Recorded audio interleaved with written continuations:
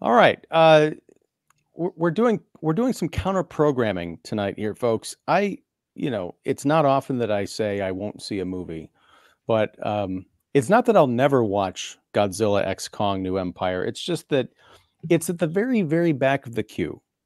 I've learned my lesson from the other legendary uh, movies that um, you know I just I can't get behind just watching giant monsters beat the crap out of each other for two two and a half hours. It's kind of the same thing with the Transformers movies. They might be wonderful. I know Mark, you love these films, and you know Katie uh, uh, Glidewell loves them too. You guys had a, a great live stream the other night, which I still have to catch up with. So yes, there is a lot of appreciation to go around. I just don't happen to be one of those folks. So, in respect to Godzilla we're going to do something a little different tonight. We're going to do Godzilla X Godzilla, or should I say Gojira X Godzilla King of the Monsters. Yes, we're traveling back to 1954 and 1956, respectively, to look at a film that is 70 years old this year and a movie that's 70 uh, or 68 years old, I guess. I can't do math. I went to art college.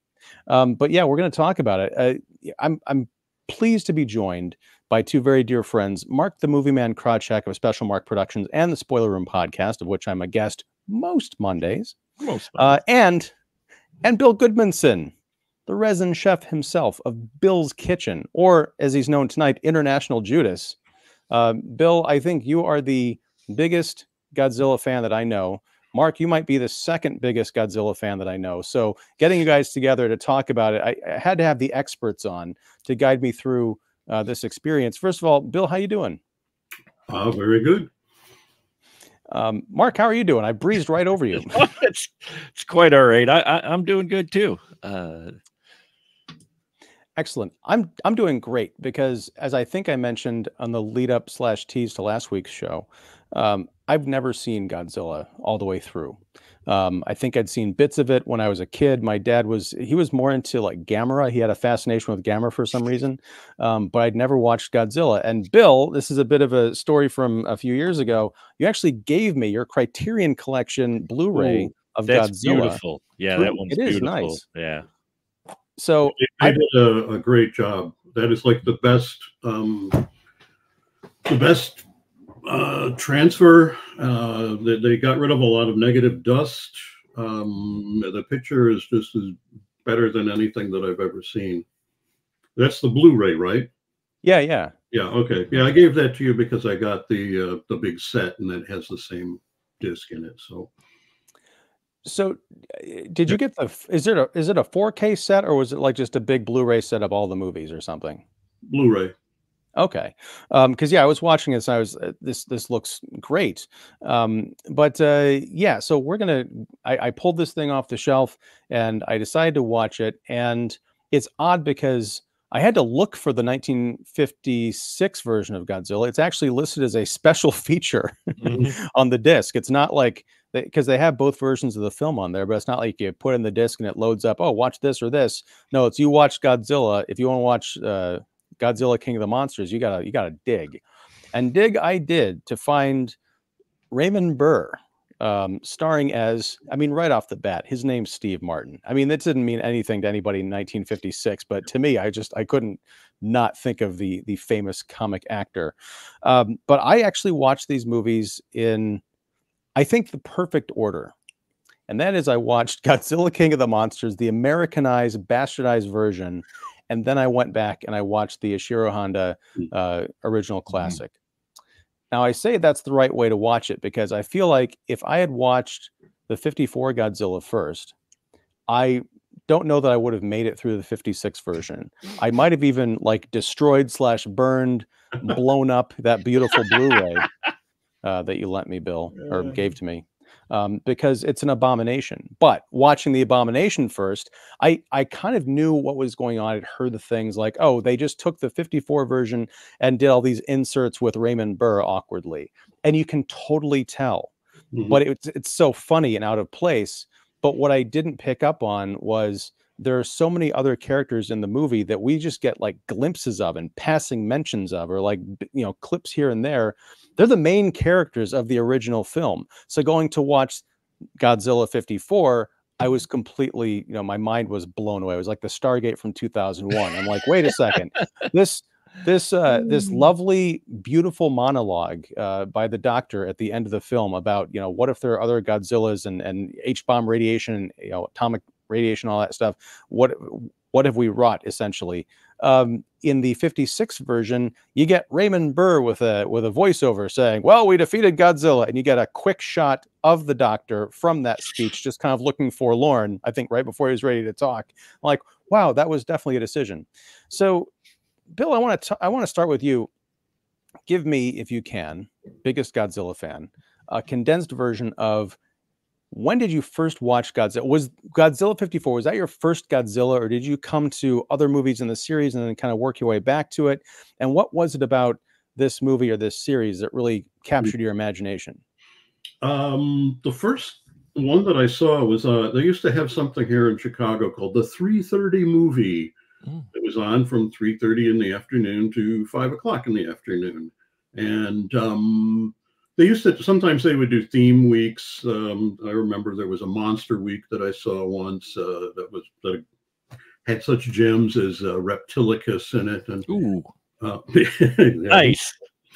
Um, but at, at one point, um, I had no idea what I was looking for, and I stumbled upon um, the 1964 movie um, Mothra versus Godzilla, which was called Godzilla versus a Thing in the United States, um, perhaps because the idea of Godzilla and Mothra didn't sound scary enough. Not that it's a scary movie or anything.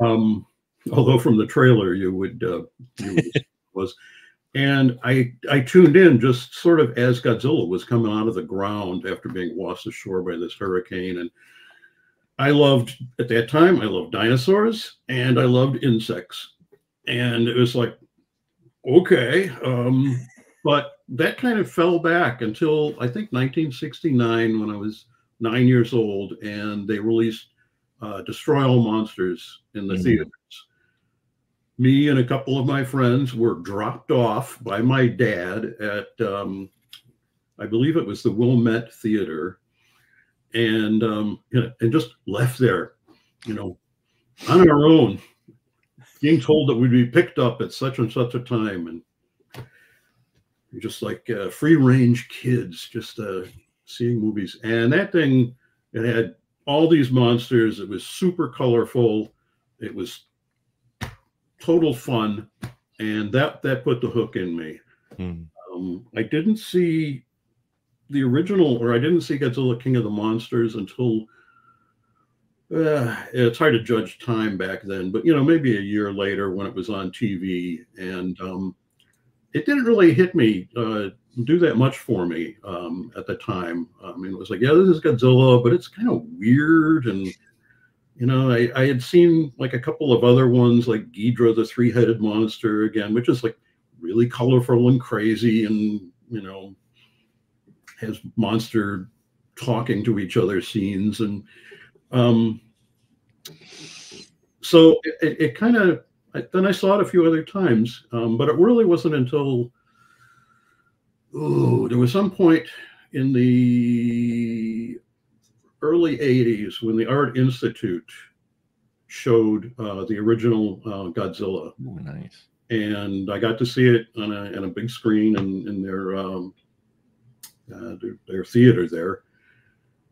Unfortunately, there was like a five minute cut uh, of like the rampage through Tokyo. So like you're, I'm watching it, and I'm going like, oh, wait a minute. um, and that's when I, I really got to know and really enjoy the, the, the you know the beginning of all this stuff.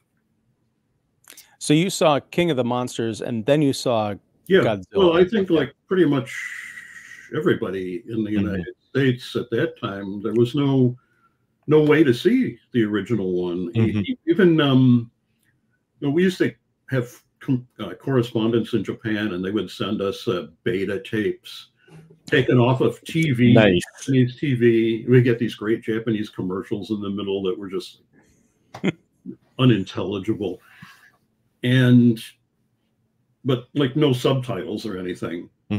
So until you see it with the subtitles and you realize like like well, there's a lot more going on in this movie um, than what we were used to. And since then, I don't know. I've seen I've seen this one probably more than the others because there's been a lot of screenings of it. When we had the um, 50th anniversary, they had it at the Music Box for mm-hmm. a week or two, um, and then there's a show uh, called G Fest that um, pops up every July here, and um, they've shown it in theaters a few times. I mean, I think I've seen like half a dozen different variations on the subtitles, um, and most of them agree with each other. A couple of them, mm-hmm. for some reason, have decided to throw um, uh, the F word in there. reason, um, where normally it's just sort of like you know somebody saying "damn," which probably I can't say for sure, but probably is more accurate. Um, yeah, certainly yeah. pull you out of the movie the way that. Well, it's, it's like that scene in in uh, the 1986 animated Transformers the movie where they have uh, some swear words. They say "damn" and uh, "shit." shit. Yep. Yeah. Yeah. Yeah. But I mean, it, it was a little kid about to be eaten by a giant monster, a planet-eating mm-hmm. monster. Maybe it was his dad. I don't remember. I can't remember. But anyway, yeah. I mean, that's the, the the weird thing is like watching Godzilla King of the Monsters and then finding out. Did did you know that there was this Japanese version out there before you started kind of corresponding with your friends and they got sent it to you and there was a revelation? Was it disappointing to see that there was a, a whole other movie without Raymond Burr? I mean, because they are two completely different movies. I mean, Gojira is a straight up dark science fiction love triangle meets science drama and then king of the monsters is just i mean they might as well have had steve martin because it's just so funny and weird. I don't think I, I i disagree. I don't i don't think that king of the monsters is that bad. It, it doesn't hold a candle to the original one but i think that for what they were doing at the time was probably the only way that that movie would have gotten released in the United States. It, it did get released. It was shown in some theaters, uh, Japanese theaters in, uh, I think, in San Francisco and Los Angeles, maybe in Hawaii in the 50s. But that, you know, would never have, uh, never would have caught on. And, and I think that the, the whole Godzilla thing would not have caught on in the United States without the Raymond Burr version. Uh, yes, I look. I agree that it's important and you know, historically, I mean, you're talking about something that happened, uh, you know, nine years after uh, Hiroshima, and the whole theme of it is, you know, the, the the nuclear disaster and and what what it uh, brought about, and the the future implications for humanity. Um, plus, I mean, we yeah, getting subtitled movies to to show in, in major theaters, I think would have been would have been a challenge for for mainstream America certainly at the time. I mean, it's something that still persists to this day, but to a lesser degree. But yeah, it's just when I'm watching the movie, even though I didn't have the full context for the original Godzilla, because I was watching, you know, the the sort of the Americanized remake, there are certain things that just didn't make sense. Like when Raymond Burr is uh, reporting from the scene of the destruction of Tokyo, and he's got all these vantage points. He's watching. I'm like, where the hell are you watching this from? yeah. Are you like on a tower that's like on top of a hill, like the one mountain that Godzilla isn't destroying? Like, what is going on here? There's the scene uh, where the um, in the original Godzilla where the people are debating what to do about the monster and ends up in this full blown like argument, people screaming at each other in this courtroom. We get that, but in King of the Monsters, but it's just like Raymond Burr in this sort of courtroom, and all of a sudden people start screaming at each other, and they're like, "Yeah, I guess this whatever happened over there is happening over there. I we don't need to know about it because it's some weird Japanese thing, I guess." Um, yeah, it just it doesn't work, and I think I am such a fan of Godzilla now. I finally get why people would love these movies. Now, this is I've only seen this one and the new Warner Brothers Legendary movies, and I think there's a wide gap there. But one of the things I think that I'm missing from these newer incarnations is what I got in uh, the the 54 Godzilla, which is a, a sincere story with something to say. Um, you know, I think really well drawn characters and you know surprises for something that's 70 years old. Uh, whereas now i think a lot of these modern films have succumbed to the kind of the blockbuster syndrome where it's like it's more about the spectacle. The other thing is i don't know what happened but i know it's a guy in a suit stomping through you know model cities and everything but towards the end of the film uh, particularly the, the the underwater climax and then that that assault on tokyo there's there are tricks of the camera and just the immersion of the story. I forgot I was watching models and a guy in a suit. When Godzilla attacks the uh, the tower that has the the news reporters in it, and they realize that they're all about to die, and they get that great perspective shot of them plummeting to their deaths into these you know rooftops. I got I felt like I was on a roller coaster. My stomach went up into my mouth. It's just it's incredible. Um, so yeah, I, homage to that. There's a nice homage to that in uh, Godzilla minus one. Mm-hmm. Yeah, which I which I do I, I want to see that, and you know, unfortunately, from what I understand, they're still trying to work out the home video rights uh, for that. There, it might be coming out in the fall. You know, practically a year after it wins the Oscar. Um, but except, uh, and I'll put a brief plug in here, the Music Box Theater, which Bill just mentioned, um, in mid-June they're having Godzilla versus the Music Box, where they're going to be showing the, I guess, the complete Showa era films and also Godzilla minus one. So hmm. I'll have some information about that down below, so people can check it out. And but Shin, um, hmm? and uh, Shin Godzilla, the 200. Uh, oh, there you go. 2016 um, movie. Mm-hmm. I'm okay. not a fan of it, but uh, we'll, that's for another discussion. well, Mark, I'm going to quit jawboning here. Tell me how you came to uh, discover Godzilla, either the 54, the 56 version, or you know just Godzilla in general, and why why are you a fan? well, my first introduction when I was a kid was Godzilla versus Megalon because it was everywhere. Uh, and the reason it was everywhere is because someone screwed up on the uh, distribution rights for, I believe, the VHS copy of it. Uh, they let the VHS version of it lapse into public domain, and so it was everywhere. But it was on cable for like all the time. So I ran across it there, and my dad was a big Godzilla fan. So I got to see the 56 version because, again, even in the early 80s with the video home video craze, that was still the only one really on the shelves. Uh, was that one? It wasn't until years later I discovered oh, there's an actual Japanese cut. And then um, I saw some of the other Showa era ones as well because they were always on either on cable or uh, independent channel 18 in Milwaukee because that's where I'm from originally. Uh, they needed show they needed programming, so they would show some of these in an afternoon on a Saturday or on a Sunday. You would end up running across them uh, because they were filling time when there wasn't sports to show so you know I, I got them in pieces not really in order uh it wasn't until yeah years later till i but i loved it i mean it's big monsters you know uh for the longest time it was just the monsters that was featured in a, a lot of those uh mid to late and i'm sure uh bill can definitely correct me uh this is just my my viewing experience but uh a lot of those Showa era ones really were just mostly the the monsters i mean the people were there but it was more about the fighting of the creatures later on, especially. And then eh, you know, um, I but, think you're, you're, thinking more of the '70s films, or it might be thinking of the '70s. Yeah, I'm thinking of the '70s the, ones, the '60s. Right. Yeah, eh, near the end, I should say, not not middle, but yeah, near the end when you and then you get into the weird Kazuki ones and all of those, but uh, uh Godzooky, I mean, uh, but yeah, I just you know I love big monsters and those were the ones that i caught first were a little bit more of the the campier ones and then i went back um and i just i was a fan because yeah it, it big monsters fighting each other was amazing and here you know they're fighting on miniature sets and you know they're miniatures but there wasn't stuff like that really coming out of US viewing, you, you, know, like that for that scale, those big, huge monsters like that, you weren't really getting those types of. You had King Kong, but you got those few and far between. Whereas Japan was was cranking these out. You know, there was a whole library of these Godzilla films, and so I get introduced to them. And then my buddy, who I met in middle school, who uh, one of them that I'm still friends with today, he's a huge Godzilla fan, and he actually hooked me up with the uh, Toho version. That's my version uh, not a Blu-ray, but it's the DVD version that's got on two different discs. It's got the Japanese version on one disc and the US one on the other.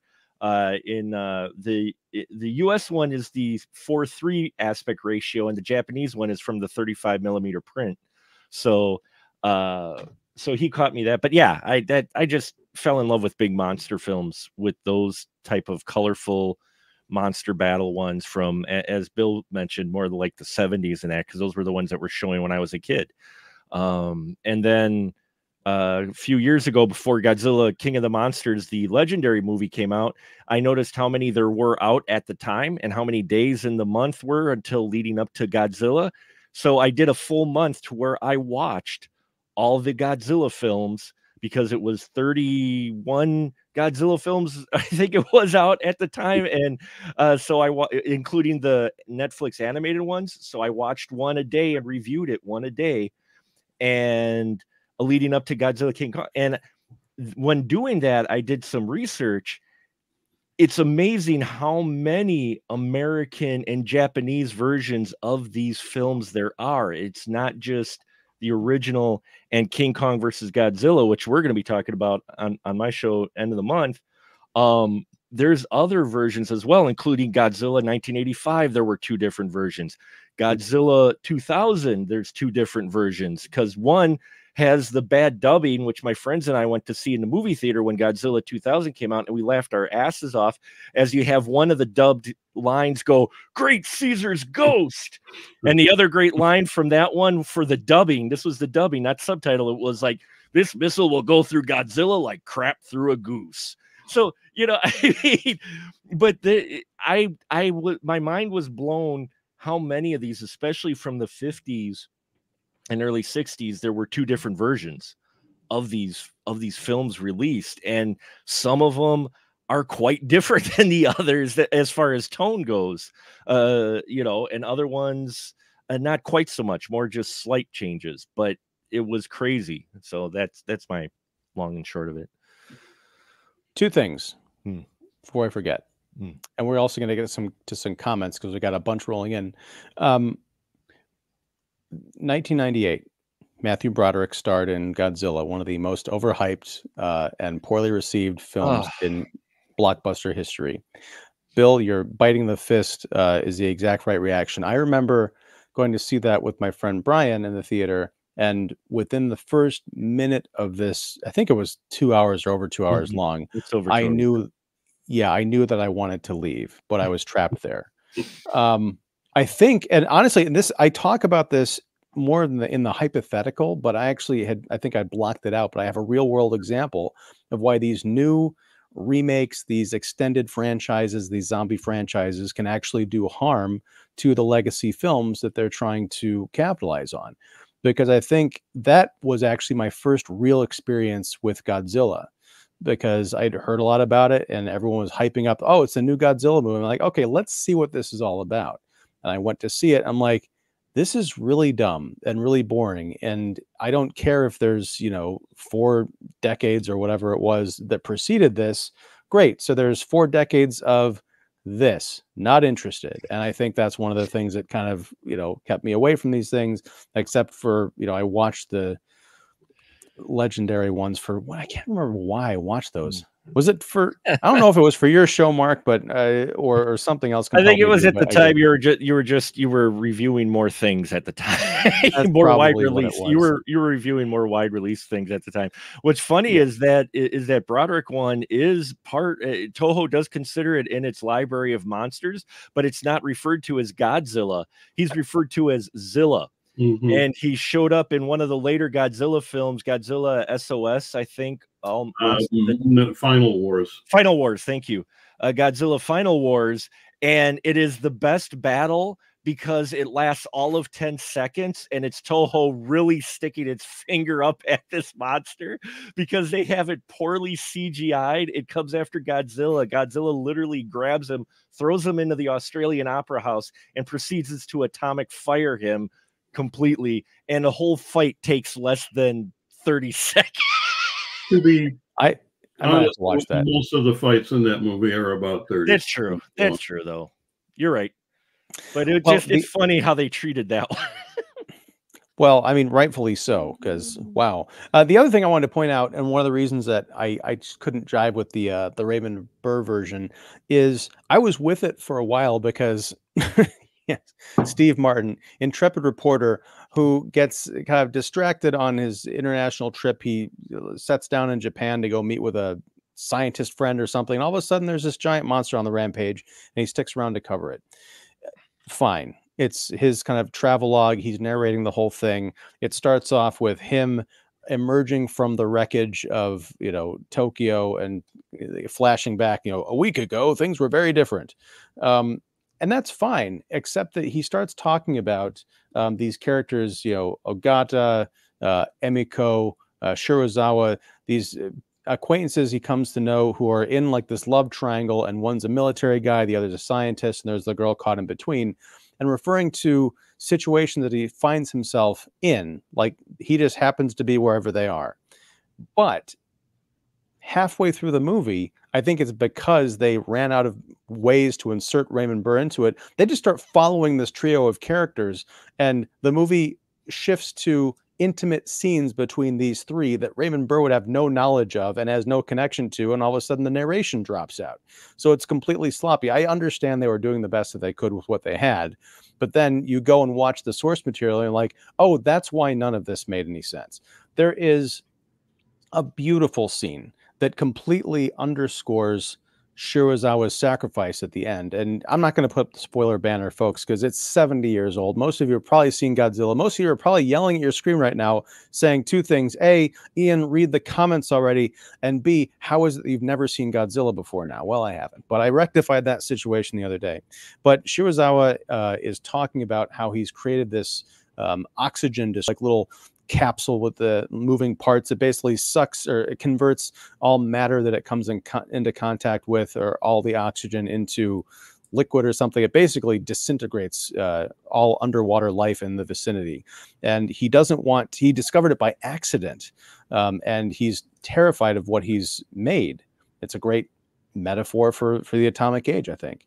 Um, he decides that he doesn't want to use it even to stop Godzilla until Godzilla destroys Tokyo and he's convinced well there's there's only one way to do it um, but he also doesn't want this weapon to get out to the wider world. And Ogata and Emiko say well you can just destroy it. And he's like well yeah I can burn all my paperwork and destroy all my research but eh, bad people can get a hold of me and torture me for the information I have in my head.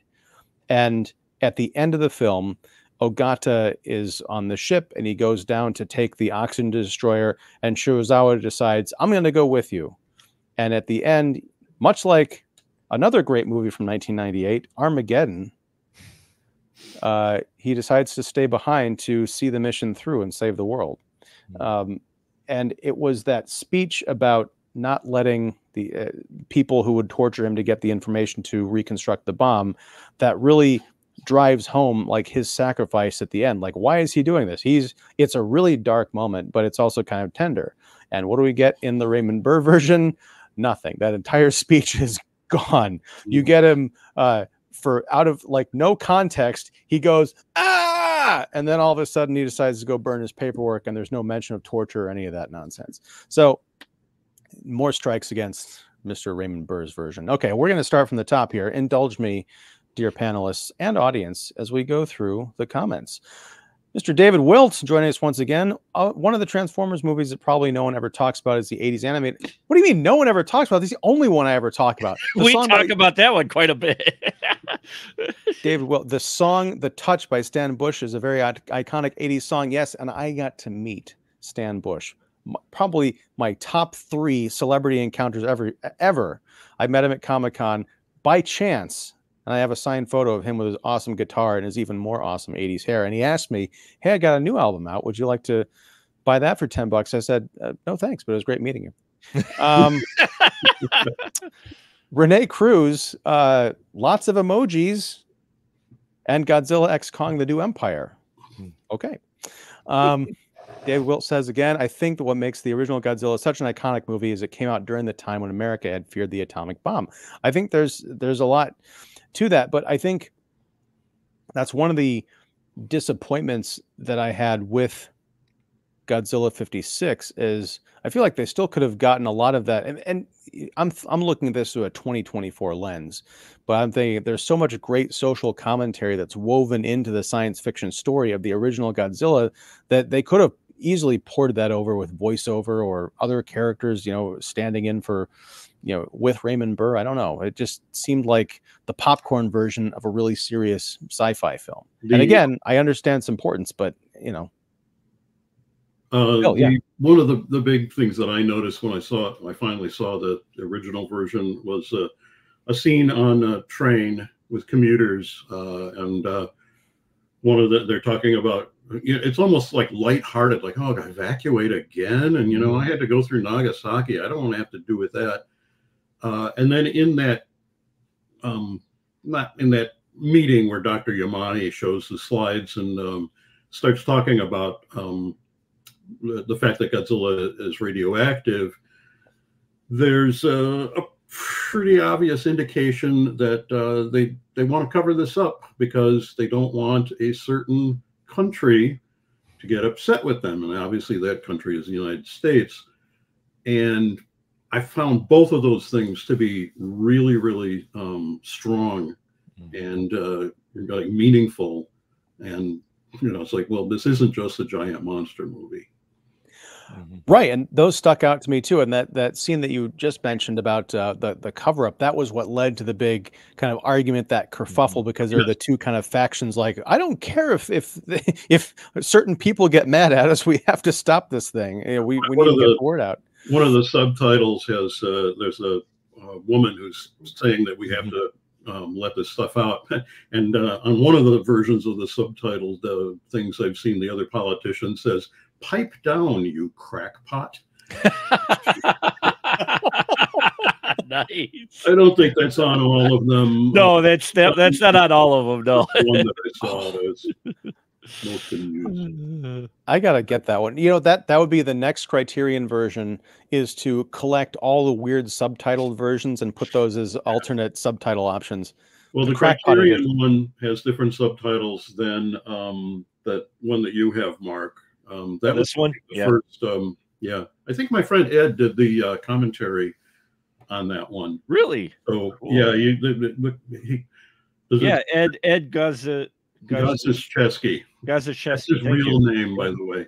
Oh, I believe it. Gazacheski. He is the, you know, you probably should have gotten him on here because he could go in depth on this, like way more than me. Uh, he and uh, his um, friend Steve Ryfle wrote a book called, um, well, I've got it right here, a biography of uh, Ishiro Honda Oh, Oh, nice. It tells a lot. Um, that's it's actually really good. Got a foreword by Martin Scorsese. Um, a very small foreword. but uh, if you, you get a chance to listen to that um, commentary, I really recommend it. it they, they get really into depth with it, and you know, unlike a lot of commentaries where like, yeah, that was a really hot day. We were filming that. Yeah, it was hot, all right. All right, I'll get off the soapbox for a while. Um, all right, so let's see.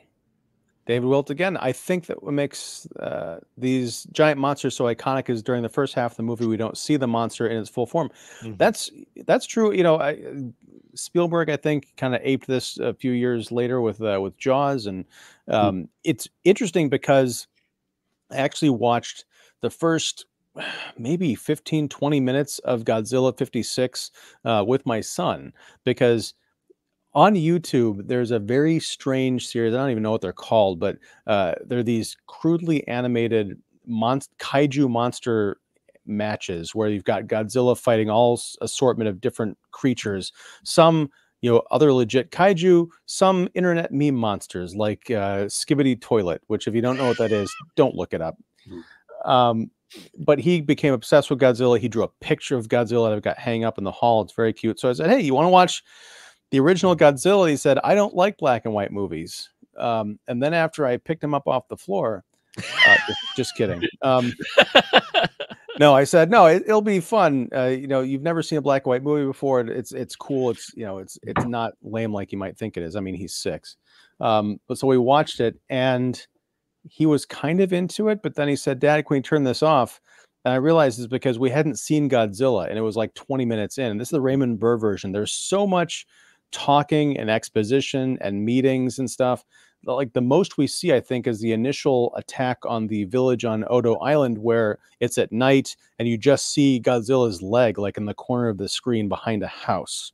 And then you've got that great shot of it looked like someone left their toy helicopter on the beach and it just kind of like tips over. It's the Yeah. one miniature effect that I thought was kind of dodgy in the whole thing, but you know, what do I know? Um, so we fast forwarded to part of the attack on Tokyo, and I was like, "Isn't this cool?" And he's like, "Yeah." And like, you want to finish watching this later? No. Um, so uh, yeah, we got some learning to do. But watching the Honda version from '54, it feels like it moves a lot quicker. It Mhm. it takes probably half the time to get really get into the business of of what is this monster. Um, let's see. Uh, let's see. The original Godzilla came out the same year Raymond Burr starred in the iconic Hitchcock classic Rear Window. Was that Mhm. really 50 uh 54? Wow. Man. Um yeah, that was a that was a creepy performance. Mhm. One of the most popular series to use Japanese footage was the series Power Rangers. That Yep. series was American version of the Japanese Yep. called Super Sentai, not to be confused with Super Hentai, which is uh, something else entirely. entirely, yes. Yes. Um, I think Godzilla was inspired by the 1953 movie. Oh, Bill. Uh, Godzilla- the I think Godzilla uh, stepped by his uh his place there and knocked his uh background over. Oh man, we should we should do like the vibration. Oh, he's attacking the live stream. Ah, Um, but I I think would have loved it if I could have had uh, arranged like like five naked women to go screaming. Um, there you go. but, um, Yeah, but Bill, you're not. You're happen that often here. well. Also, you're not. You're not recording from your basement tonight. Um, so I true. think. I think Godzilla was inspired by the 53 movie The Beast from 20,000 Fathoms, and both movies include a scene where a monster attacks a lighthouse. Um, Lighthouse and Godzilla. Well, okay, yes, definitely inspired by. Um, in fact, Ray Harryhausen, who animated The Beast from Twenty Thousand Fathoms, hated Godzilla um, because he just felt it was a ripoff. And um, I think maybe a little ironically, I think that uh, Godzilla actually was a better movie than Beast from Twenty Thousand Fathoms. I mean, um, you know, in in Beast from Twenty Thousand Fathoms, the monster was uh, killed by a radioactive uh, bullet or Yeah. capsule. So uh, that that that sort of different approach of uh, radiation is your friend to uh, you're all going to die. Um, I think is, is, is a pretty uh, big thing. But yeah, it, uh, I think even one of the original titles for the film had something like the giant monster from twenty thousand leagues, or you know. Mhm. So uh, yeah, it is definitely. I wouldn't call it a ripoff, but I would call it inspired by. And originally, it wasn't even going to be. Um, uh, it was. It came about because a, a deal that fell through with uh, a movie that was to be made in Indonesia, and the producer Tomoyuki Tanaka was flying back and desperately trying to find something that he could use. And um, he said something about like being on the plane, looking down at the ocean, and then like wondering well, what would it be like if something came up out of there. And um, so there, there we are. Um, anyway, Wow. I don't remember Godzilla attacking a lighthouse in the first film. I mean, I- I don't either.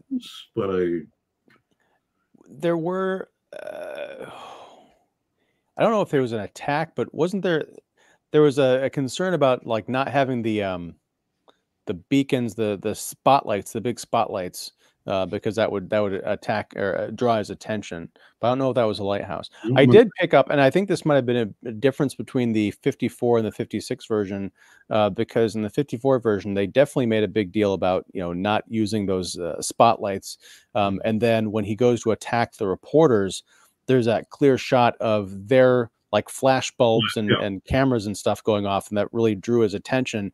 I didn't pick up on that in the Steve Martin cut, so I don't even know if that line was in there. But it's No, great wasn't. because not only is there it's a real moment of horror when you realize oh yeah, they just made that spotlight comment like five minutes ago, and now we're seeing the camera flashes go off. So those guys are screwed.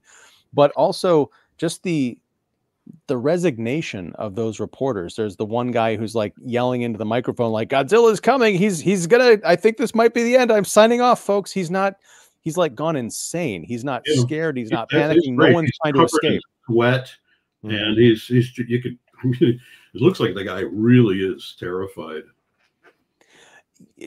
And contrast that with Raymond Burr, who once again is like watching from some vantage point, like, oh my god, I can't believe what I'm seeing. Um, all right, let's see. On the series Rugrats, the character Reptar was inspired by Godzilla. All right. Yep. Um, in the 70s, there was a Godzilla animated series. Yep. I've actually got about six episodes on uh, DVD. Was that released. like an American series or like a Yeah. Japanese series? Or- Yeah. Okay. Barbera. Yeah.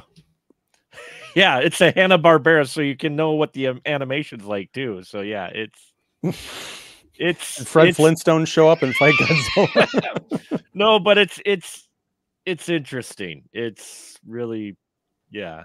Even It's- I haven't watched that. So Yeah, it's it's a it's not an easy watch. Maybe when you're very young, sure, but watching it now, it's it's it hurts. Uh, Hmm. um, let's see. Oh, yes. There. Okay, David. Thank you for reminding me of the actual first Godzilla movie I ever watched. When I was 11, I saw the animated short Godzilla versus Bambi. He's reminding me of that now. Um, They they played I- I that. You've all they, seen this. they played that before the 19 uh, Godzilla 1985 mhm. because uh, I remember the big media blitz because there was even a news report because they had a guy in a suit show up at like the New York premiere or something and they were showing footage of it and so I went to see it in the theater and beforehand there was this line drawing animation and I'm like what's this and it said Godzilla Godzilla versus Bambi and I'm like okay. And they show it, it, you know it's so short but they actually put that in front of Godzilla 1985 and I saw that in the theater we just laughed. It was hilarious. That used to be a, a staple of like, well, they used to have these animation festivals where they would show animated shorts for you know two hours or something every year, and yeah, that one would show up all the time. Directed by a guy named Marv Newland, who uh, uh, later um, became kind of a celebrity in the short animation character crowd. Hmm. Well, I just remember the the gimmick of that was you had this deer like eating grass, and the credits going by Godzilla versus Bambi, like written by Mark Marv, Marv, Newland. Marv Marv Newland. Yeah. Okay. And then like all the credits were him, like edited and all this stuff. And at the very end, boom, Godzilla's foot just comes down and mashes Bambi. I first saw that, I think I was 11. Uh, I got a VHS tape of like, I think it was called like weird cartoons or crazy Mhm. cartoons. And they had all a bunch of these shorts. And one of them wasn't even a cartoon. It was a, it, it was, I don't know when it was from the 40s maybe, but um, it was a live action mixed with um, kind of like stop motion animation I, I think it's a pretty famous short of a guy working in a factory and this little bird hatches out a car. And this car hatches from an egg and like kind of like unfolds and it's it, it- i still don't know how the hell they did it because it is very smooth but i'll have to find that someday. Um anyway yeah godzilla versus bambi. I love this. I'm, I'm dredging up all these movies. Godzilla has been with me my entire life. I just didn't know he was there. Um all right. So one Sorry, of the thi- one of the things that you notice watching them back to back, and it- it's what I noticed when I did my my monthly Godzilla film, but especially watching the 56 and 54, if you watch them just back to back like that, is there the 56 version tries a little bit to play the angle of the evil of radiation and and nukes kind of. It, it's there is tossed in there about you know how godzilla got woke up but you're just missing a lot more of the human element that the 54 has because the 54 has literally a scene where if i remember correctly and, and, and please correct me if i'm wrong but there's one scene where godzilla's walking up and i think it's a mom or a parent or something and a kid and they're by a building and they see godzilla walking up and there's no music it just you see godzilla walking up to it and they just look terrified and you get other moments like that to where you know in the beginning they they really breeze by the whole setup that the 54 version does in the 56 version they breeze by it of the shipping lanes getting ruined and how Mhm. there's no fish in the sea for these folks to catch so they could actually live because these villages are rely on the fish you know i mean there's there's so much of that human element missing in the 56 version because they got Raymond Burr to pull an Orson Welles of Transformers to where they gave him a script and said, "Okay, stand here. You're going to see a creature of some sort." And he's like, "Uh, okay." And now read this line. Uh, but I don't even know if he saw footage of Godzilla beforehand. And for you know, for being a global reporter, did he have to remind us so many times that his Japanese was rusty or it was rough or he couldn't quite understand Japanese? What are they saying? And they got the most uh, most Americanized Japanese actors to act around him because we're talking 56 here.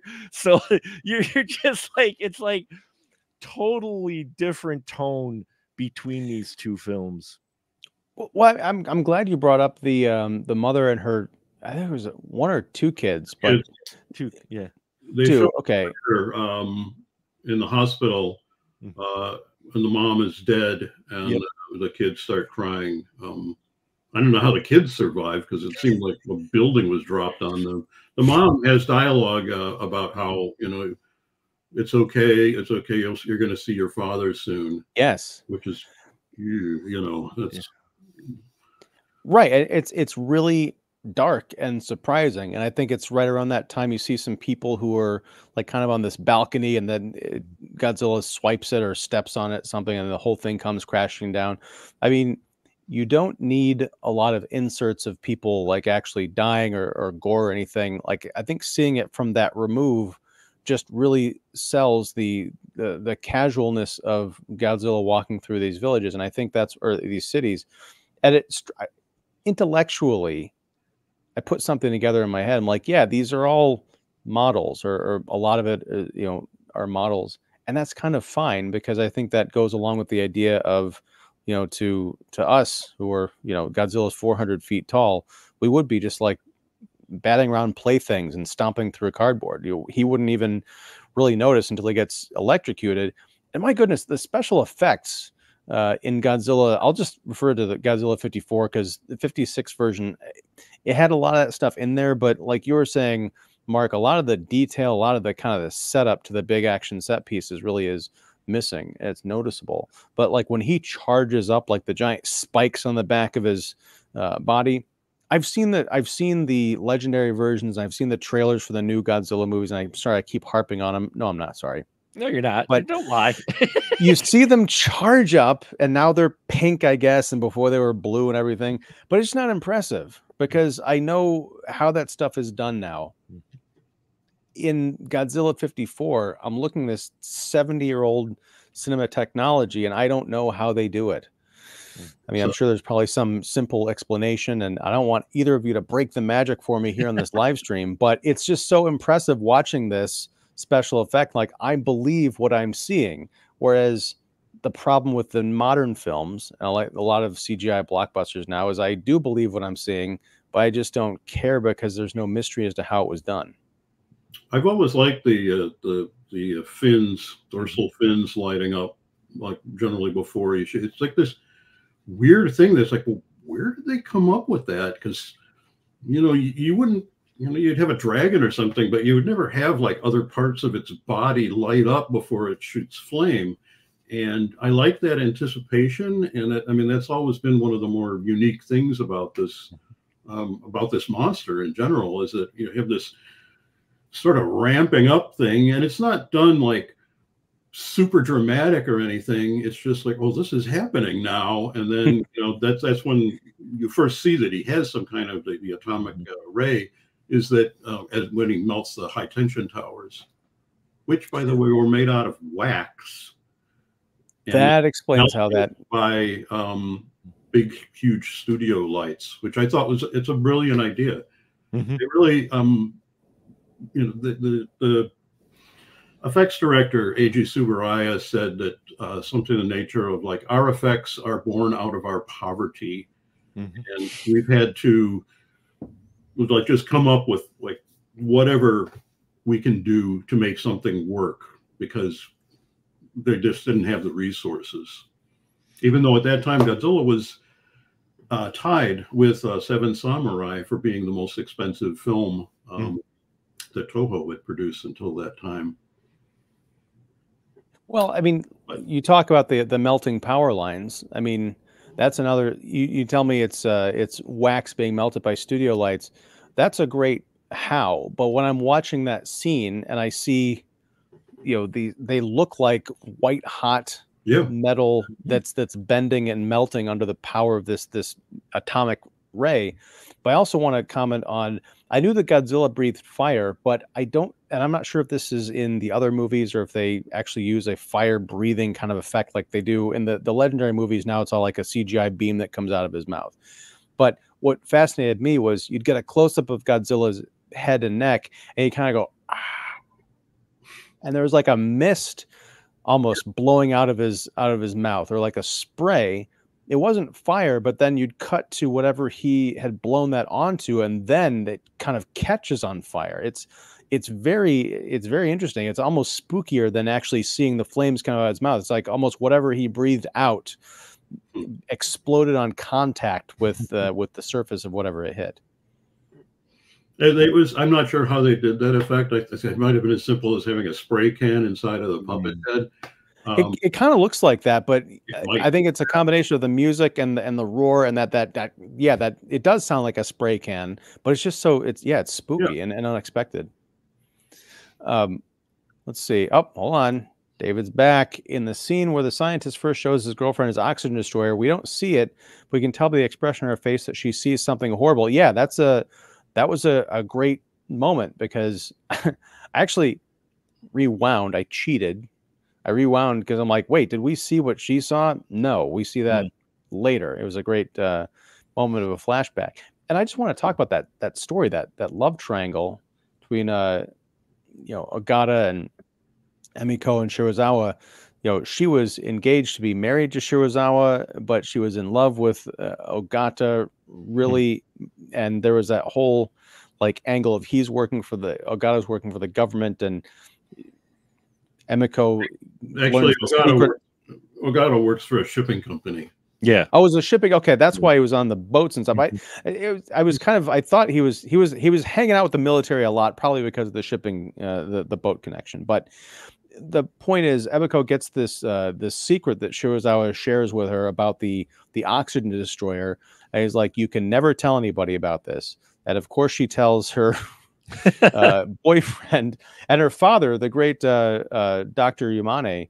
Um, you know, he is the one who's championing. Let's study Godzilla. Let's try and not necessarily capture it because I don't think we can, but we shouldn't just kill it because it's the greatest scientific discovery ever. And it is until you know later in the movie where everyone kind of realizes, well, we might not have a choice. Mm-hmm. because this thing unleashed could could wipe out you know everybody if it escapes you know Japan. Um, but yeah, these these great kind of moral dilemma, dilemmas and quandaries uh, are all over the film. And when we see this oxygen destroyer, we see the look on Emiko's face, and she screams and she you know practically passes out. And then later we get to see what actually happens to that tank in a flashback. And it's horrifying. We see these beautiful fish swimming around, and then all of a sudden, through the magic of you know editing and smoke in an aquarium, I guess, we see them turn into bones and that's something that I really want to get into uh, your theories about this. In the 1956 version, there's no talk about because uh, they cut out Dr. Yamane's speech about you know well there's other radiation out there there could be more Godzillas. In that version, it's pretty definitive. Godzilla, we see him turn into bones, and then those bones turn mm-hmm. into nothing, to pure water. So at the end of the 56 version, there's like, well, how the hell are they going to make a Godzilla sequel? Whereas the end of the first Godzilla, it's implied that yes, this Godzilla turned to dust, but much like Jaws: The Revenge from 1987, there could be relatives out there somewhere. Well, it, that it's a little funny because um, in 1955 they made the sequel. Yeah, Which because you know, pre the Raymond Burr version. The Raymond Burr, so how- by the way, got released in Japan and they cropped it into CinemaScope. um, yeah, it's a little weird. I've got a poster for it, and I, I, I don't think I actually haven't watched it, but um, it's a, yeah, and it's just one of those weird things that uh, you don't have an easy explanation for. I was going to say one of the things that I really like about uh, Dr. Yamane's character, played by um, Takeshi Shimura, who's a great, great actor. Um, if you he's the leader of the Seven Samurai. Um, there's a film called Ikiru, which is called uh, To Live, and he plays a guy dying of stomach cancer that just, you know, if you don't start crying at the end of that movie, then, you know, anyway, he, his, he's not like just one of these scientists that would say like, oh, we got to keep him alive. He's, and just to study him, he's like, well, we need to study him because he survived the bomb. Mm-hmm. Mm-hmm. We need to see and and if he can survive the bomb, maybe there's a way that human beings could. And I thought that was a really nice touch that, you know, it isn't just a some kind of pure, you know, scientist who's going to, you know, I, I, don't know if you've seen the Howard Hawks version of the thing, but um, yep, the scientist there who basically, you know, flips out and, um, you know, the thing is he's killing everybody, but you know he stands in the way and you know whatever. But uh, Yamane actually has more depth than uh, than that. Uh, but yeah, then once Tokyo is destroyed, it's uh, yeah. Well, well, and that's the thing is like there wasn't. I don't think that was a. Thank you for reminding me, Bill, because that was a, a, layer of his character that I'd forgotten about. Um, but there wasn't the modern conception of the nefarious scientist that mm-hmm. we get where it's like oh we should keep him alive like like something from Weyland Yutani uh, like we got to keep it alive so we can study it and use it as a weapon you know perhaps to get back at the United States or or or those other countries that were kind of mentioned um, was that ever a conception in any of the other like sequels like figuring out the secrets of Godzilla to weaponize it, or was it all about just like staving no. off these monsters? Mm-mm. No, hmm.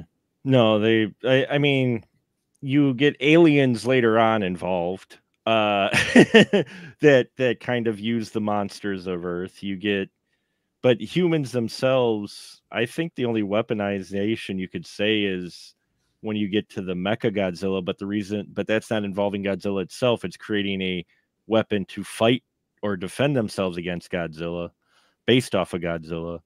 Um and and you, you get so you get Mecha Godzilla, but I don't yeah, I don't I can't think of any where it's humans weaponizing him. no. Well, nothing. Yeah. In all the 70 years of Godzilla movies, they've never come up with that idea of like let's turn Godzilla into a weapon to like fight our enemies. The mm, aliens think, do that to try to take over the Earth a few times, right. but um, no, there's um, not people. No, no countries ever try to take take him those, over. Those monsters are treated more like as just uh, I don't know forces of nature, hurricanes, that kind of thing. Um, you know, I know, but but even even the United States has like experimented with energy weapons. Now, look, I'm I'm I'm just saying, I'm just saying like make a sequel like they did with Godzilla minus one, make a sequel to one of these aliens attack and try and use Godzilla against us movies and say, I'm glad we survived that, but those aliens had the right idea. What if we could harness the power? I'm surprised. Guys, okay, we got I'm gonna turn off this live stream. We're gonna go write this script together and make well, tens of dollars. In, in in Destroy All Monsters, uh, the the ten monsters that are taken over by the aliens, the the Earth people do crack the code, as it were, and are able to control to attack the aliens. Of course, at that point, the aliens send King Ghidorah in to have a the big battle of lots of giant monsters. Yes, I love I mm. love destroy all monsters. That one's so it, it's a lot of fun. It yep. is a lot. Of, I you know I'm gonna have to check it out. I'm gonna I'm as I mentioned like I finally get the Godzilla thing now. You mm-hmm. guys, I've always appreciated your love for for these movies. I just never really got it. I think because I spent my time watching all the wrong ones. um, but you know, Godzilla 54. Uh, the, the Raymond Burr one is a fascination. I would even recommend that if, if you've never seen Godzilla somehow, mm-hmm. that you watch both those movies back to back. I think it's a, a, a great kind of like not even just for what the they did with this movie, but just think of the possibilities of other ways you could do that with with different films, just like intercut someone, you know, uh, being an observer somewhere. I mean, you could do that with with with anything. You could do that with Alien. Um, I don't know. I'm just I'm rambling at this point. But um, yeah, with the with the Raymond Burr thing, um, I know that it's inferior. I don't think they did that terrible of a job with it. I mean, at least looking, you know, like from my point of view, um, it is a little bit. uh, I hesitate to use the word racist, but it is a little like, well, we can't accept a movie with a bunch of Japanese people running around in it. Um, Well, I mean, especially because you're talking you're talking about, you know, this was uh, w- It is- just a decade removed from like Pearl Mhm. Harbor. So yeah, and, and internment camps and Mhm. like it wasn't exactly like, hey, there's a great Japanese sentiment running running through the red, white, and blue. So yeah, I, I can but understand. also- I thought about that at the time. Yeah, too. um think about you know you, you've already done like uh some of these movies uh, the quatermass movies with brian um Donlevy where it was like well a supremely british character replaced by an american a uh, curse of the demon Mhm. you have uh, dana andrews um, as the, star as american everybody else is british and so i mean and those are all 50s movies and I don't know. I mean, maybe it is just this kind of thought at that time. It's like, well, we can't just have a bunch of foreigners running around, even if they speak English. they're, they're they're products of their time for sure. I mean, Yeah. you know, we did we did a series called "It Came from the '50s" where we were looking at you know uh, '50s monster films uh, one each month, and and it was very interesting to see the wide spectrum of how they approached the the creatures or the aliens or where they come from, as well as their approach to you know uh, uh, foreign uh, immigrants and such as well. And you're you're right. It, they couldn't probably in 50 si- there's sitting there going this is a cool monster film but there's no way we're going to be able to market it to our western audience if we don't have and then they you know they cast one of the most probably american of american guys to to play you know and then they got some asian actors but then the asian actors speak you know uh, perfect english you, you know uh, for the most part and so yeah it, it was to, to Acc- get you know, people to the box sure, office yeah. yeah i mean Right. yeah they had slight accents some of them but uh, some of them you know spoke very clear and it, it's just a product of its its time because they hollywood is all about money and they're like that's the only way they figured they're going to market it to this audience. Some of them many of them were veterans. You you know you're you're not going to want a, a japanese led film if you're going to want it to be successful at the box office. And that came Right. out during the time that these um, monster movies were at a, a, a bit of a peak. Um, it's to me, it's kind of amazing that um, the American movies, the, the all the, the 50s B movies coming starting from like them and going through, you know, Beast from 20,000 Fathoms, everything else, that kind of stuff petered out in the United States in the, I think in the early 60s. Yeah. But in Japan, they just kept making these things, not just Godzilla movies, but uh, they, they had their own King Kong movies. They had uh, different alien invasion movies. Uh, mysterians was great i love mysterian you know, we can I can spend a whole year talking about that film, the theme, but you don't want to hear that. Well, not yet, but no. I mean, the, I I do want to say about the the Raymond Burr version and some of the you know, it's not a controversy, but I mean, just like the idea of you know the Americanization of this this Japanese film.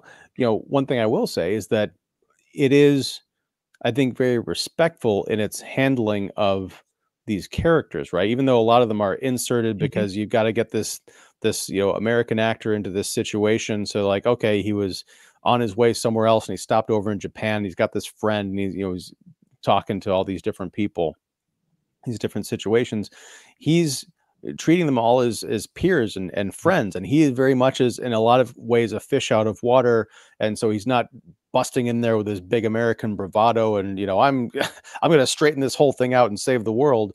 Um, you know he's in many he's he's a competent professional um, but he's not a cartoon, you know, Mhm. GI Joe American hero guy. So that was that was nice to see. It's just that while I was watching him in this movie, I could very clearly see the cuts of like, okay, so this is the part like him and his friend were like sleeping outside in this tent on Odo Island and I could tell that the the stuff that was going on inside the house that was from the real movie and this whole thing with the tent my wife had like popped in to watch a couple minutes of it. It's like, what? Why are they like? It's outside. There, there's like a typhoon going on. They're still like lying there. Why don't they go for cover or something? What are they doing? And that was my whole question. The first, the opening of this film where Raymond Burr is, or sorry, Steve Martin is in the rubble. I felt like that went on for five minutes. I mean, he's just like it's just voiceover of him like, what? What's going on? Oh, uh, uh, still, what's what? It took forever, and I think that's one of the reasons that my son checked out. Mm-hmm. Whereas, yeah, Honda knew how to get down to business. That's Yeah. that's all I'm saying. A- and and don't forget about the the stand-in bodies for the American version, the stand-in folks who were shot all from behind. Oh yeah, when, when he met Emiko and she's Very oh. sure. Yeah. oh, I, one thing that is that is interesting though is that you know he's he was stuck in there to to get like uh, a an American name on the on the poster, whatever. Yeah. But later on in the '60s, um, they started having American actors in there. Um, Nick Adams was in uh, two films. Um, Russ Tamblyn was in War of the Gargantuas. Um, Cesar Romero and Joseph Cotten were in Latitude Zero in like 1970. Very strange film.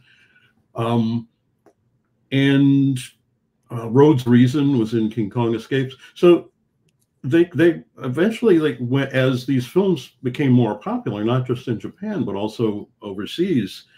Um, the people in Toho started making deals and um, you know getting some Americans, and those, those would generally be the lead um, characters in these movies.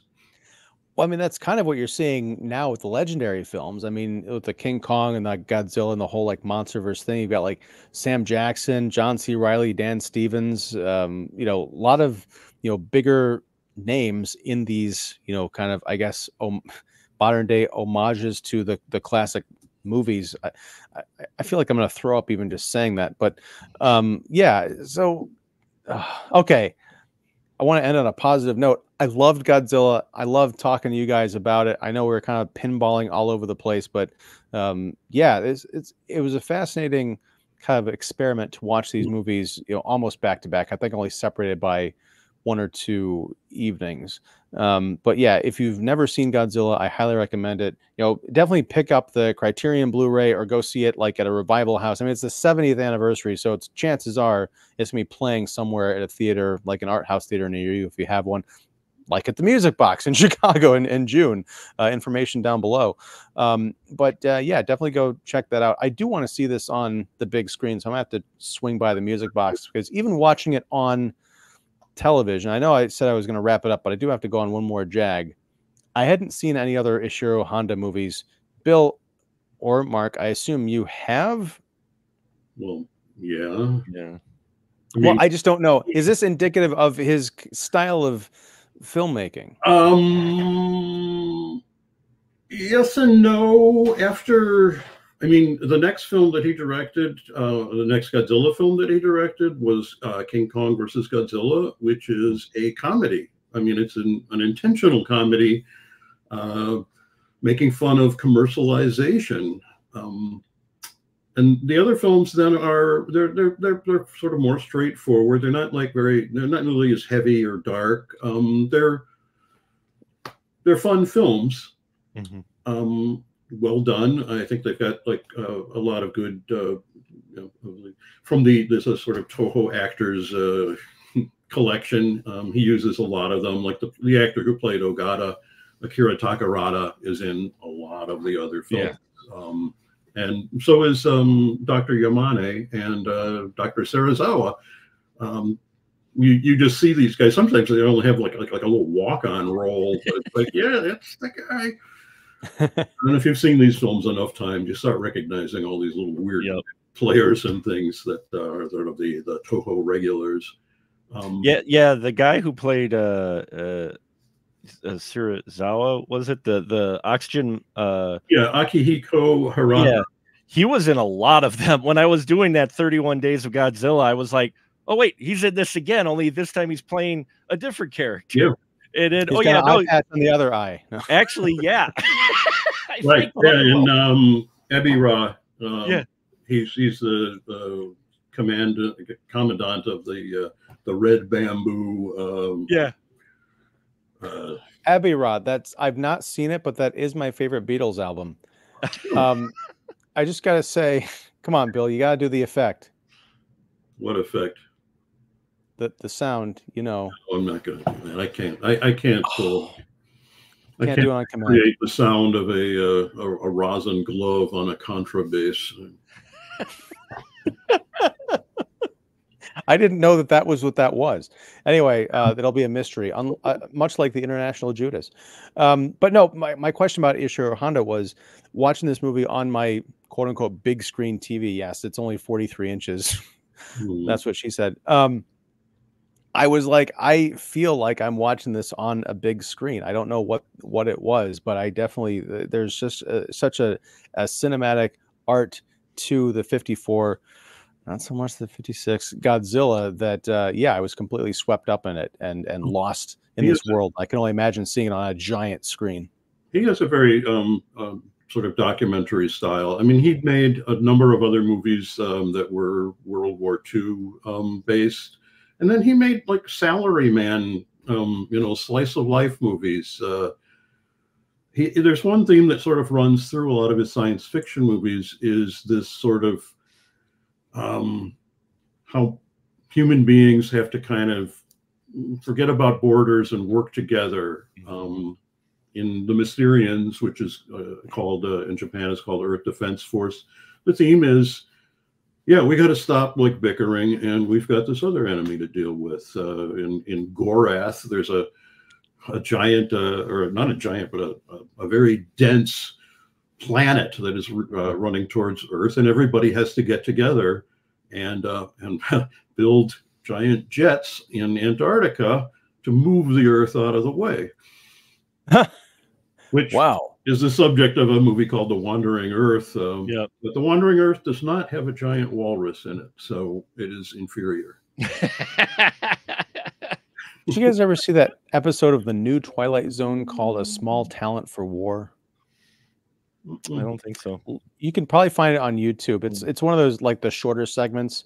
Um, John Glover uh, plays an alien who shows up at the UN and says, "You've got uh, we've our planet is part of a giant federation of intergalactic, you know, we're a consortium. We've noticed that your uh, planet has a small talent for war, and you guys better get your act together, or we're going to come back and blow you up. and so, two days later, he shows back up at the UN, and the entire planet has come together. They they've signed all these peace treaties. They've completely disarmed. They've destroyed all their weapons. And the the one representative hands John Glover's character a, a huge book and says, "Here, it's all signed, sealed, and delivered. See for yourself." The guy starts flipping through it and he starts laughing. He's like, uh, there was a huge misunderstanding. Uh, we are a war, we are a garrulous species, and your planet is just too pathetic in terms of its. Uh, you're you're not you're not warlike enough. So we have new, no use for you. So now we're gonna blow you up, and then the mm-hmm. ships close in on the planet. Everything goes dark. Very funny it's and twisted. Book Mm-hmm. It it is a cookbook. That that's there should have been a recipe that fell out of it, uh, mm-hmm. but he wasn't a candidate. He kind of looked like one though. Mm-hmm. Big shoulders. Anyway, I'm going to let everybody go now. Uh, thank you, Bill and Mark. Um, all your information is going to be down below.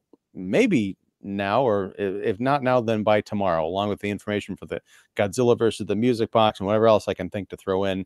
It's been a lot of fun catching up on Godzilla with you guys. Um, and folks out there, thank you for hanging out. Uh, David Wilt and uh, who else? I, I forgot. I got to go up and get this Another comment. Uh, Renee Cruz, the big fan of Godzilla X Kong: The New Empire. Thank you for for commenting. And if you're watching this on the replay, um, yeah, thank you. Uh, let us know what is your favorite Godzilla movie, your favorite kaiju movie. Uh, what did you think of Godzilla 54? What did you think of Godzilla versus Steve Martin? Which is what I think Godzilla 56 should still be, should officially be called. Um, yeah, and if you like this live stream, please like, subscribe, all that business. And um, Bill, you're waving your hand. You want to either get off here or you want to say something. I'm surprised that you did not ask uh, Mark and I what our favorite uh, Godzilla films were. You're surprised I didn't ask you the most obvious question, Bill. You have not yeah. watched this show enough. Mm-hmm. Bill, well, what's your favorite Godzilla movie?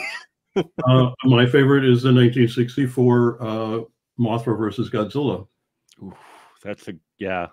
Um, I think it, it, uh, it, I think the best one is the original one, but mm-hmm. my favorite one uh, is uh, is is Mothra versus Godzilla. I think it it's got a great pace. It's got great payoff. It's got twin 30 centimeter tall uh, girls that sing, um, giant moth, giant caterpillars, um, the, the, the best Godzilla design in my yes. opinion and um, I'm one of the best scores. Uh, I don't know. It just it's just uh, it just works for me. Nice. Well, that's having an anniversary too. I'll have to watch that. oh yeah, um, Mothra, Mothra versus Godzilla. Oh yeah, that is this this year, isn't it? Sixty years. Sixty, yeah. Yeah. Hmm. Uh, yeah. It, it's a hard call. I, I I, am not sure if I have a real favorite outside of the original. I, would say Destroy All Monsters. I really enjoyed mostly because of that was one of the first times I had seen something like that with so many big monsters fighting at once and being a lover at that point when I saw it when I finally w- saw that film because uh, I had I had seen it because in our library in elementary school we had a book a Godzilla book and there was a still from a promo still from Destroy All Monsters that had like eight monsters in it, including Godzilla and that. And I'm like, what movie is this? I must find this. And it took me forever. And then once I uh, once I saw it, I I that was one of those to where you know people are used to like crossovers and all kinds of things now wasn't a big thing with you know back then you know where where you had so many back and forth. Yeah, you had a return of a monster occasionally in these films, but not that many at once fighting. And yeah, I I really dug that one, and that was one of the first ones where I was just like mind was blown. So many of these monsters they put in because I was young when I watched it, so I didn't know anything about licensing and oh yeah, these are all Toho films. Where I'm just like, holy crap, there's all these these monsters fighting Godzilla. This is awesome. Well, now I got to watch both these movies. So yeah. thanks for the recommendations. But, I but he's right. Yeah. He's right about Mothra versus Godzilla. That's a just a gorgeous film. Uh, really for a monster film. It's you. You should check out the the uh, 4K restorations that Toho has done on those films. They just they make the the Criterion discs look uh, I, am gonna have to now. Now with your with your recommendation, I wasn't sure on it, but yeah, I got to check you, out. Where can you get those, Bill? Uh, Japan. Yeah. Well, you, oh. I ordered them through Amazon Japan, mm-hmm. yeah. and they sent okay. them to my house. and they're they're just they're just region free, I guess. Or... Uh, Blu-ray has the same region as um, the mm-hmm. United States uh, uh, for Japan and the United States, and I think some other Asian countries. So um, all right. Well. They they play just. I don't have a 4K machine, so I just ordered the uh, the Blu-rays, and mm-hmm. you know they're just blown away. Um, by I've got like four of them. Nice. Which I may wait for until until they release Mysterians, and then I'm going to be oh you know like I'm going to get an airplane and go over there opening day to pick it up. Yeah, I'm, I, you won't have to make a special trip. I'm sure you've been you've been known to visit Japan, Bill. Um, all right. Well, I seriously, I'm going to let you guys go now. Thanks for for hanging out and talking about giant monsters. And um, yeah, we'll be back at some point. I don't know what we're doing next week, if anything, but um, whenever that is, whatever that is. Thanks very much for watching, kicking the seat. This has been Gojira X Godzilla King of the Monsters. Thank you very much. Take care. And um, I don't have a giant monster roar, so I'm just going to say. sorry, sorry. No. I just I just gave Bill a